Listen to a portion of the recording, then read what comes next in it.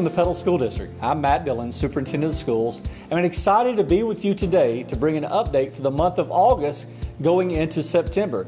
This is Petal School District at a glance. We've been in school a month now, and I cannot be more Panther proud of our faculty, staff, and students. We had an A plus start around operations and procedures, and I am so pleased with our results. I want to say a big thank you to our great faculty and staff for making everything work and doing it at a very high level. I also want to say thank you to our families and parents and students for assisting us in a great start of the school year. Now, our return to school plan. We uh, sent that plan out in the middle of the summer, and we're continuing to update that, update that, and monitoring that. You can find that on our district website. There's a COVID 19 tab, and there's three things on this tab that I want to explain to you. The first one is our return to school plan, and from there you can read all the details of our plan from our cleaning protocols to how we're handling masks. Uh, to what we're doing with close contact, all the different things around our return to school plan. Many of those same things that we used last year that allowed us to have school in person all year long. So please visit that plan. At the bottom of the plan, you will see a stamp update. So if we ever update that plan, you can see the date that we made those revisions. But also on that COVID tab, you're going to see a second thing, and that is our flow chart, where you can find all the information you need to know about your student. For example, if they've tested positive for COVID, or if they've been around somebody, it gives you a flow chart on what your next steps are. It's very detailed and as always, if we can help you in any way, please pick up the phone and call us or email us, and we will be happy to walk you through all those things. And the last thing on the COVID 19 uh, tab is our tracking document. Please be sure to review the COVID 19 info tab, and that will show you all the information on our weekly COVID numbers. Uh, from the students and staff that are positive to our quarantine as well. And that is updated every week, in addition to what we have to send up to the state as well. All right, so let's talk about something exciting that we've done in the school district this year. It's the Coffee Bean Book Initiative. As you know, all of our students and staff are participating in a district wide reading of the book entitled The Coffee Bean.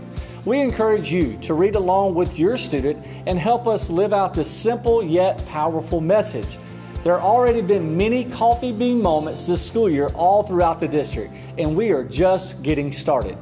Our new district theme, Transform and Thrive, was inspired by the book. We must embrace the message about making sure we impact our environment instead of letting our environment impact us.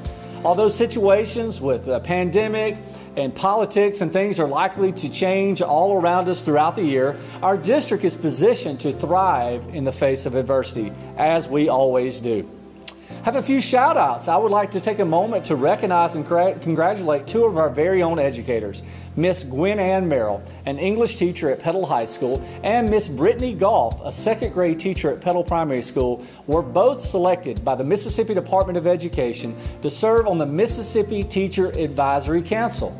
This is a big honor, and I know these two will represent our schools and staff so very well.